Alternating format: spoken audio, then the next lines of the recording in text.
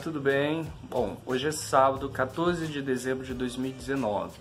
Vamos começar aqui hoje essa loucura que vai ser a rotina da mudança da casa, tá? Se inscreva no canal, ative o sininho para ficar por dentro de quando eu postar novos vídeos. E se você quer me seguir lá no Instagram, é loftdogui, tá bom? Gente, olha só, já limpei aqui a área, depois eu vou mudar de câmera aqui e mostrar frontal, mas olha lá. Já limpei a área onde é a sala, deixei só o móvel que vai colocar lá. Os outros estão aqui em pé, já remodelei tudo aqui de maneira diferente. Magui tá ali comendo, tomando café da manhã dele. E aí, aonde vai ficar a rack ali? Tirei os livros que estavam aqui em cima, tirei TV, tirei tudo. Vou mudar a câmera aqui para mudar um ângulo e vocês verem melhor, tá? Bom, gente, olha, mudei. Tá vendo? Que agora eu não fico dividindo a câmera aqui com espaço. Então, aqui onde é a sala. Deixa eu ficar na posição que eu mostrei no outro vídeo, que é de dentro da cozinha olhando, ó.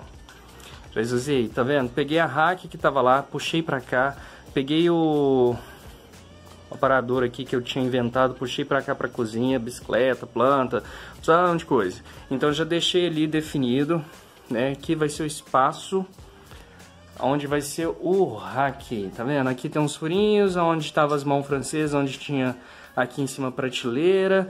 Aqui tem mais quatro furinhos bem pequenininhos, assim, onde estava a TV, então vai ficar esse espaço. Aqui embaixo é o rack, aqui em cima é o painel. Olha, estilo do rack, dessa forma aqui. Ele tem 1,36, tá vendo? De comprimento, a largura dele, profundidade dele, 380 centímetros, né? 38 centímetros. Magui, meu filho, deixa eu gravar o vídeo. E aqui o painel, bem simples, pequenininho também, 1,36, tá vendo? Por 90 centímetros. E é assim que vai ficar. Vai ficar nesta posição. Aqui é uma parede, gente, que eu fiz de isopor, tá vendo? E ainda falta finalizar, né? Eu tenho que pintar ela toda de branco porque eu quero a textura branca, fundo branco, tudo branquinho para ela ficar só a impressão mesmo da, da textura, sabe? De tijolinho. Magui lá fazendo arte. E aí, essa é a primeira mudança que vai ter. Vai ser a construção do rack. Vem hoje, né? A, mo a montagem do rack. Vai vir hoje. E aí depois eu gravo as próximas cenas, tá bom? Olha só, terminou a montagem, gente. Olha aqui como que ficou maravilhindo, ó. Deu um foco aqui agora. Esse cantinho ficou pronto, olha. O painel, o rack, tá ali montado. Agora eu vou transferir tudo que tá aqui dentro desse maravilhoso rack para aquele lá. E esse aqui eu já arrumei um destino para ele. E aí depois, ó, aqui tava cheio de crochê, já coloquei tudo lá. E depois quando montar o multiuso colocar aqui, aí vai tirar tudo de crochê de lá e colocar no multiuso aqui. Aquela mudança básica, mas já tá prontinho. Aí mais tarde eu vou colocar TV, mais tarde, mas não é hoje não. Outro dia, aqui tem que comprar umas pecinhas e tudo. Tem que puxar a tomada de energia e de antena de TV, colocar ali. E aí vai ficar legal. Ok, aí a gente vai montando aqui, eu vou mostrando ao longo do tempo. Oi gente, tudo bem? Olha, chegou aqui, né, um momento que eu vou mostrar para vocês que ficou os móveis todos montados. A casa não tá super organizada ainda. Na verdade, assim, a gente aqui em casa compramos os móveis para poder começar a organizar. Ainda é um caminho que tem pela frente, né? Não dá para comprar tudo de uma vez e aí ao longo do tempo a gente vai encontrando outras maneiras de organizar melhor. Vou mostrar para vocês os três móveis né, que eu comprei então, que foi o guarda-roupa, o rack com painel e o multiuso para começar meu pequeno ateliê, tá bom? Vou mostrar aqui para vocês. Galera, olha só, essa aqui é a parte que é meu quarto. Não está ainda completamente arrumadinho, o Magui tá ali no chão com os brinquedinhos dele. É, ganhei esses quadrinhos, são todos de papéis, né? Ali, olha só, a criança mordendo o brinquedinho. Barulhinho vai ser ele.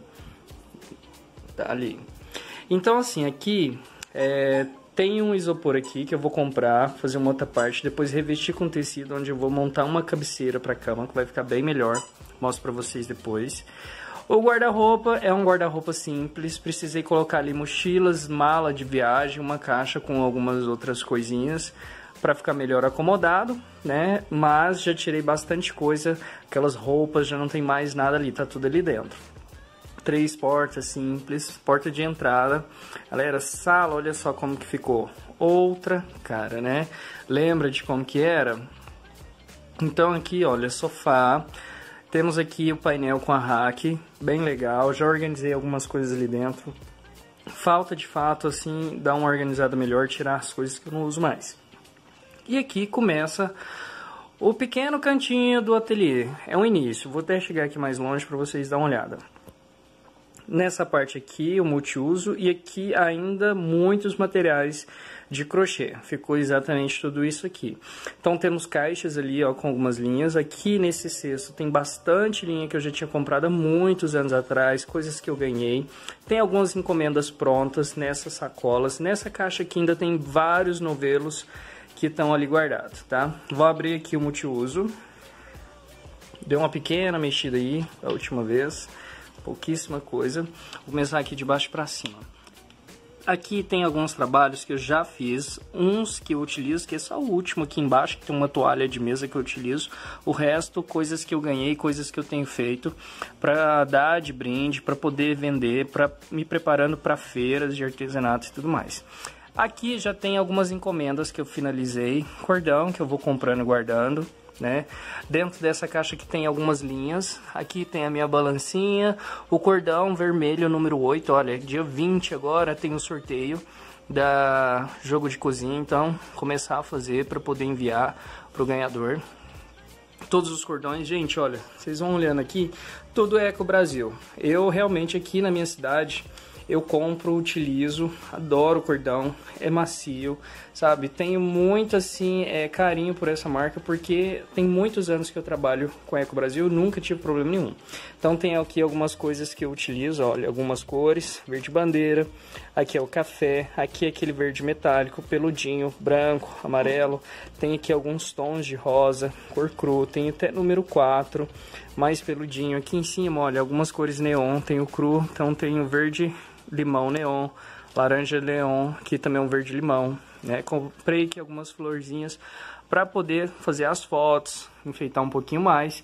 E encaixei, tá vendo, né? Aqui tem uns encaixes de algumas sobrinhas que eu vou tendo. Aqui também, olha, o caque, lilás, verde abacate, castanho. Então aqui tem um rosa com brilho, tem aqui mais vermelho. Vermelho, gente, sem dúvida é a cor que eu mais trabalho. Cru, vermelho, preto são cores básicas que eu trabalho muito. Então ficou assim, dessa forma a organização.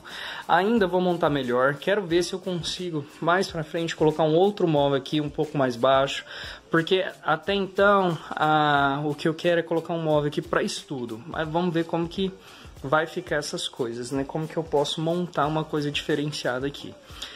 E é isso, tá vendo como ficou a organização? Então ficou desta forma, vou mostrar aqui, então meus quadrinhos aqui, ficou desse jeito. E aqui começa meu pequeno ateliê, né? Agradeço aqui todos vocês por terem chegado até o final do vídeo, visto aqui um sonho que começa, montar um pequeno lugar para começar o artesanato, meu crochê. E se vocês gostaram, deixe o joinha de vocês, Comentem aqui no final o que, que vocês acharam, o que, que vocês querem ver mais, né? Quais são as dicas que vocês têm pra mim, tá bom? Muito obrigado pelo carinho, agradeço. Fiquem com Deus.